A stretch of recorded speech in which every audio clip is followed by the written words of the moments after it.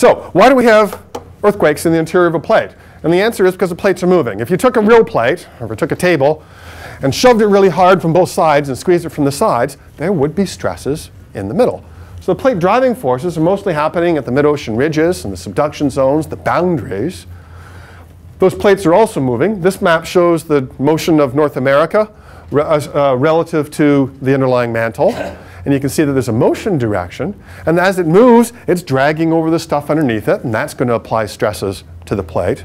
And from those forces that we know about, one can predict the compression or extension within the continent. This plot shows with these little arrows the direction of maximum compression within the North American plate. And we see here in eastern North America a roughly east-west direction of compression being predicted from knowing about the plate driving forces at the edges of the plate and the bottom of the plate that we're predicting a maximum, a compression first of all, and a maximum direction that's roughly east-west here in eastern North America.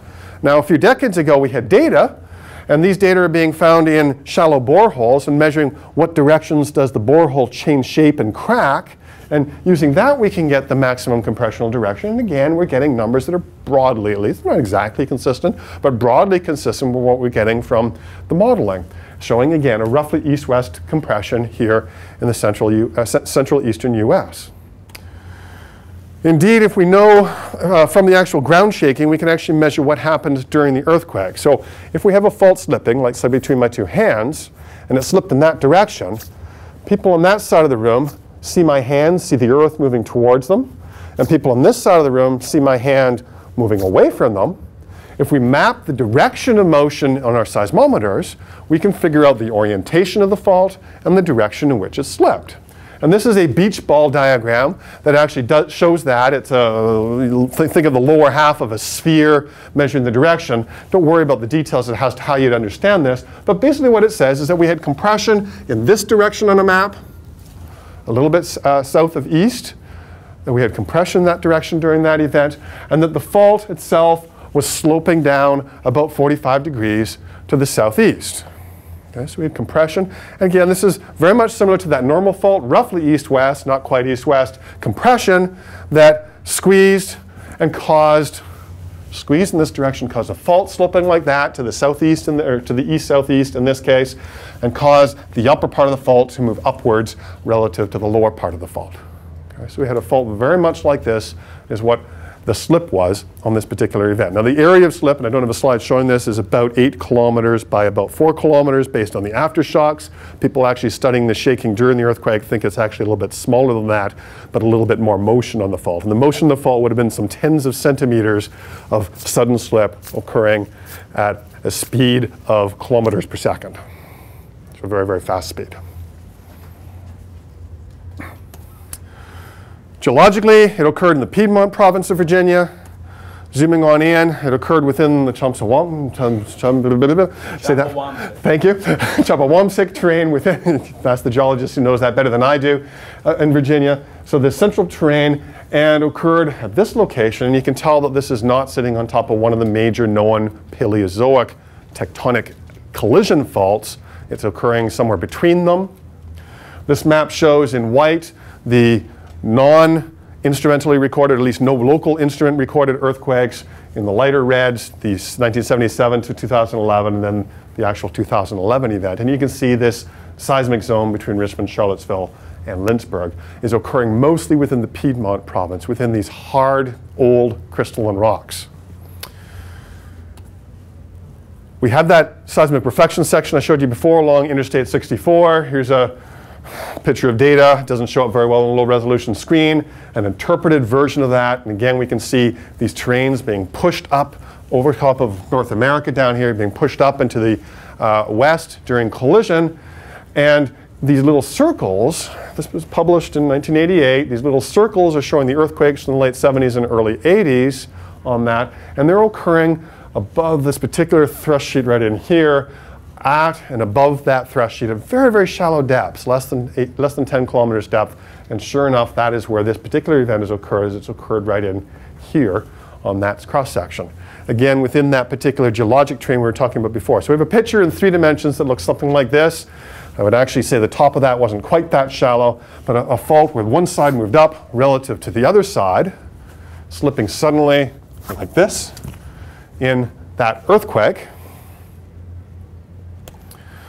But the orientation of the fault, which we can get from these motions, of, of the, the first motions, is actually not parallel to these faults, but is actually more northerly than those ancient Paleozoic faults.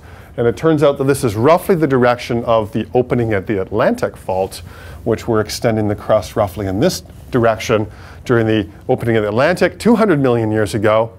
Those faults, of course, were pulling the continent apart, but those older structures are still there. And if you have a new stress system that's squeezing it back together, you can imagine the new stresses being accommodated or reactivating those older structures. So the thought is that this is what's happening here. Yes? And notice the orientation of these basins.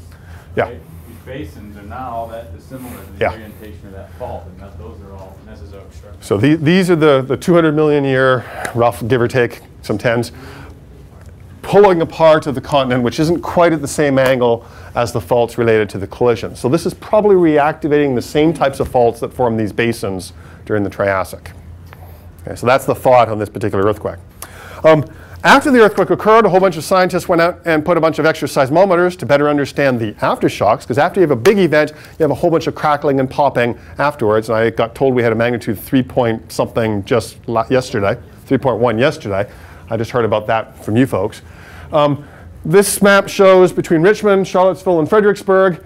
The epicenter is right in here, and the red and blue symbols are the traditional aftershock deployment. I'll talk about the green one in a few minutes. The red and blue symbols were a traditional, actually relatively dense aftershock deployment that was put out there to listen to these aftershocks. They're put out by the U.S. Geologic Survey, the uh, Virginia Tech, uh, IRIS, and Lamont Doherty Earth Observatory in about that order and how many instruments each put out, listening to the aftershocks. And if we zoom on in, you can sort of see this green pattern here. We'll zoom on into that. You can see where the epicenters, which, uh, sorry, where the, where the aftershocks are occurring in a map. Here's two kilometers for scale, so we're really zooming on in. This is the USGS epicenter, which was recorded by those stations, only one of which was in Virginia. This was the epicenter that included the Virginia Tech instruments that were not paid for by anybody, but the data had been shared. And using these new stations that were deployed listening to the aftershocks, the aftershocks are much more accurately located and they're occurring where the epicenter from Virginia Tech was. This is what caused it to be called the Mineral earthquake, because Mineral's just off the top of the map over here. It's actually closer to Louisa. The actual real earthquake was closer to Louisa. And this error is caused by not having enough stations nearby doing the locations. So it's named Mineral by the USGS, but the USGS has the worst data to name it Mineral. I personally would prefer to call Louisa or Louisa County earthquake or Central Virginia earthquake. Um, mapping those earthquakes in vertical slice, this is depth down, down, eight kilometers there, and horizontal distance at a one-to-one aspect ratio. And if you rotate this slice and make the slice in the right direction, basically this is the compression direction based on the original earthquake. Sure enough, the aftershocks are declining. So these, these aftershocks would extend in some considerable direction, uh, distance in this direction, defining the plane of the fault that slipped during the main event. So it's southeast. Sorry. Um, yeah, this, this, that's north 120. Right. So it's sloping off to the southeast. Yes, sloping off to the southeast. Okay. Um, my own involvement in this, I'm not an earthquake seismologist. I do that type of imaging. But one of the principles that we use in my business to do this type of imaging is we put lots and lots and lots and lots and lots of stations down. So we quickly ran out, I think it was four days after the event, and put out 200 stations, which are these green symbols, and they go all the way up to Fredericksburg. You see these stations going off towards Fredericksburg. Um, at a much denser spacing in order to get higher resolution imagery of, and, and to basically test the concept of putting out more instruments and what we can do with them. Those Texans? Those were Texans, which were the wrong instruments to do this with, meant way, way, more manpower. And I have to give a lot of credit to my students because they were out deploying these instruments during not one but two hurricanes brushing into Virginia.